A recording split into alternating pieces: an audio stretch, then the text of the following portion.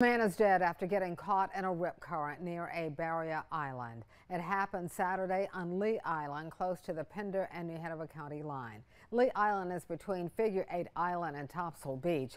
Pender EMS and Fire says a call came in about people stuck in a rip current.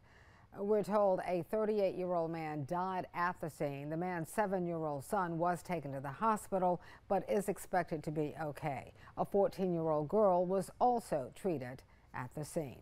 And tonight, the National Weather Service has issued a high rip current alert for coastal Pender, New Hanover, and Brunswick counties. So if you go to the beach, you'll see those red flags out.